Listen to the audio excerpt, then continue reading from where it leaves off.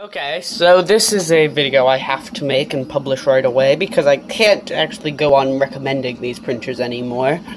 Um, despite the fact the MOSFETs stay relatively cool and seemed adequately reliable and they were, had fans on them, um, I, I was actually fairly confident in these MOSFETs for a Chinese printer.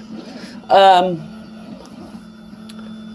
you know, MOSFETs can run up to 125 degrees, supposedly without damage.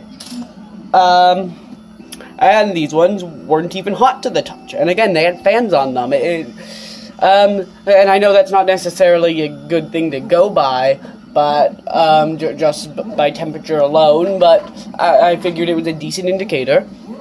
Um, and I was fairly confident in these. However, I was out of the house with this printer printing, which is not something I would normally do but um, it's something I have done from time to time. And uh, something I was more comfortable doing now that I have this, which will get a video eventually. I actually have one recorded on it. It's just I haven't uploaded it um, yet, and this one's going to be uploaded first because this one's much more important. Um, this is a way of turning on and off the ATX power supply that controls this printer remotely via Octoprint. So fortunately, I was able to shut off this printer before it could get any worse. But uh, you see, it's off now. We're going to turn it on via Octoprint. Um, and right now, Octoprint is connected to this printer, which is printing. So Octoprint isn't even connected to this printer. It isn't going to be sending any commands. Um, and if we turn it on, you can see it boots up. Um, and the heated bed starts at 25 degrees. And if you look at the MOSFET, and it goes up to 26, as you can see there. And it's going to just keep climbing because if you go down here to the controller board, and that's why the uh, z-axis is so low. It was in the middle of a print when I turned it off. And I've just taken off the fan thing because the fan thing has cracked a little while ago. And I figured I might as well rep replace it. But, uh, re replace it because I'm hoping to get a new controller board from FLSUN. But you see, the board, the, the thing's already risen four degrees in this uh, just this span of a few seconds. And if we look at the board, the little indicator light for the heated bed MOSFET is on, and actually, if you can see, the heated bed MOSFET is the one MOSFET that's not covered by these cooling fans. Um, and that's the MOSFET that's switching the most current, which is just a terrible design. And I've measured the voltage coming out at those two contact points there uh, with my multimeter, and it's putting out about 7 volts instead of the 12 volts which is a sign of a failed MOSFET. If I turned the MOSFET on, it would probably be outputting the full 12 volts. Um, and the way that indicator light's designed, I don't think it's designed if the MOSFET's supposed to be on. I think it's just designed if the MOSFET is switching out current. But you can see we're already up to 33 degrees. And it just kept climbing. So the bed was supposed to be at 60 because I was printing a PLA part. And I happened to check in on it, and the bed was at 70 of 60. And I'm like, okay, this is really sketch. Um, and I set the bed to zero. I'm like, just turn off the bed entirely.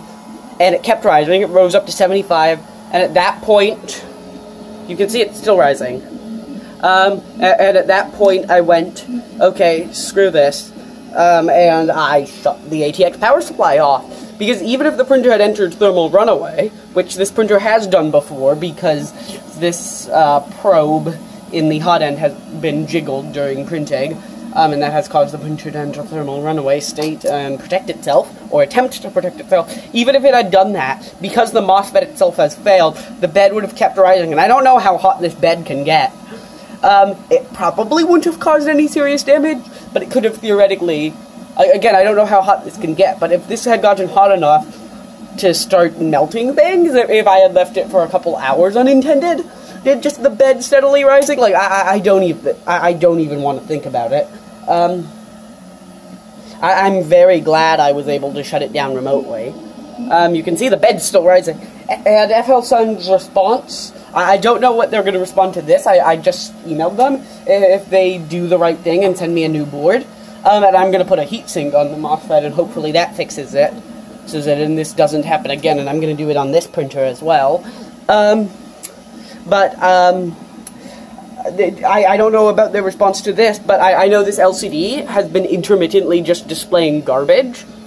Um, this LCD is failing, I think, or either the controller board's failing and not sending good signals to the LCD, and that's part of it. I, I don't know. I'm just gonna try to get a new LCD anyways um, with this controller board because at this point I'm angry with them, and I have filed a complaint with Amazon, um, which is where I bought this printer from. Um, I hadn't filed it previously, but when this display was intermittently displaying garbage because they refused to send me a new one, and that was a few weeks ago. Um, bed's still rising, so I'm going to shut it off now. Um, there we go. Um, so yeah, don't buy them until further notice, um, because th this is really sketchy. Uh, and if it comes to it, I might do what many people with the ANET A8 do, and buy some of those external MOSFETs, and use those to switch the bed, because those will get the job done. Um, you know, it'll get the job done much safer, it's just they're a giant pain. Uh, and they take up a lot of space, and they're not super expensive, but they're... I, I, I would rather not use external MOSFETs, um, but but I might have to because at this point it's becoming a safety concern, um, to me, at least. Uh, yeah. I'm just really upset by this. Um, it's not the support experience I had with them when I first bought the printer, and I think clearly when you first buy the printer, they're like, oh, let's give them the best support experience possible, um, and then it's now that I've had the because um, they're much more likely to file an Amazon return within the first little bit. But once they've had the printer for a while, um, that they probably thought it was fine. Uh, and this is through their Skype support. I don't know about their email support. Their email support was what I was mostly talking to before, and then they told me to go to the Skype because that's the engineer um, supposedly, and I, I, just stuck with the Skype for this, but I don't know if their email support's better, and their email support is who's going to reply to my Amazon return request, presumably, and I don't even know if they're in contact with each other. I mean, I'll tell them about the Skype support. Um, yeah, I, I just am upset by this, because this is not what I was expecting to have happen, um, at all.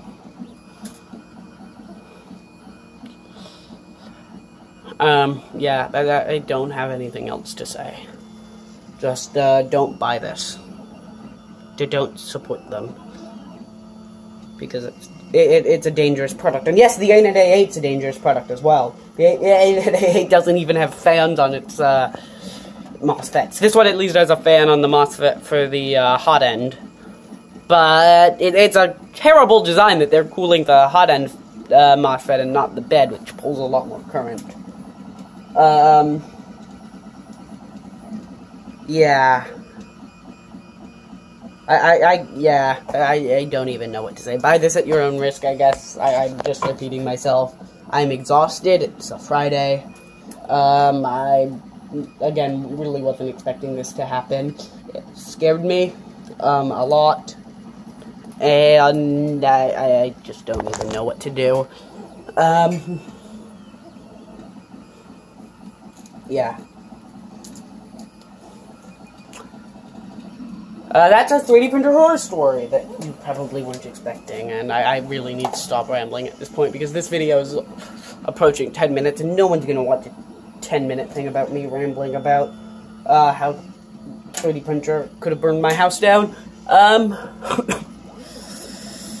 uh, yeah, that's all. Bye.